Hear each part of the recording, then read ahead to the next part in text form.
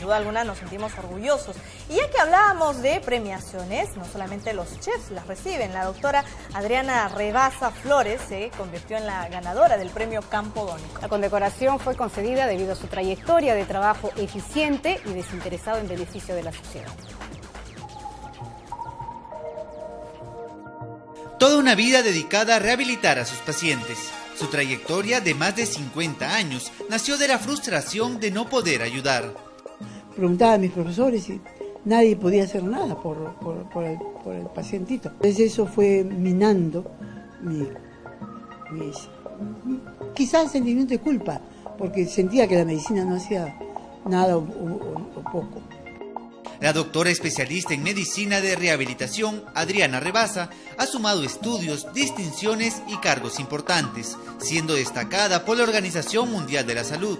Lo que más le satisface es ver a sus pacientes rehabilitados. Que vi la perspectiva de poder, de instrumentarme para poder hacer la vida más completa en honor a su gran trayectoria, la doctora Rebasa ha recibido el premio Esteban Campodónico 2013, distinción entregada por la Fundación Clover de Nueva York y la Universidad de Piura. Pacientes que lograron superarse, como el campeón paralímpico de natación Jimmy Euler y Teresa Quiapo, campeona olímpica en tenis de mesa, hoy la saludan. ¿Cómo pudo llevar el instituto hasta donde ha llegado hasta ahora? A ella nada la detiene. La doctora Rebasa asegura que en busca de justicia siempre trabajará por el bien de sus pacientes.